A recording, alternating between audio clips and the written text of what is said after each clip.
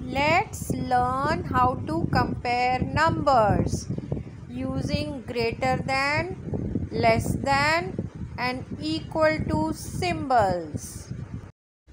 This is the greater than symbol.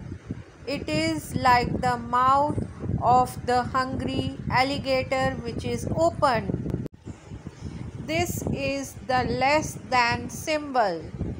It looks like the inverted L letter. This is equal to symbol. Now let's take some examples to compare the numbers. Let's compare 7 and 9. Remember that the alligator's mouth always wants to eat the bigger number.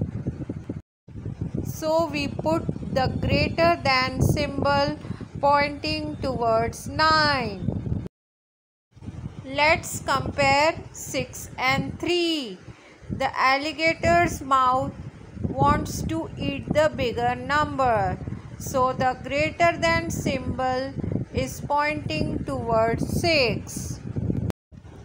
Now let's compare 3 and 9. The alligator's mouth wants to eat the bigger number.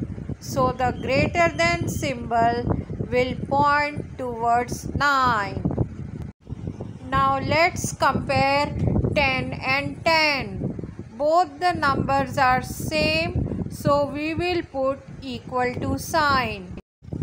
Let's compare 58 and 85. 85 is a bigger number so the greater than symbol will point towards 85. Let's compare 23 and 28. 28 is a bigger number so the greater than symbol will point towards 28.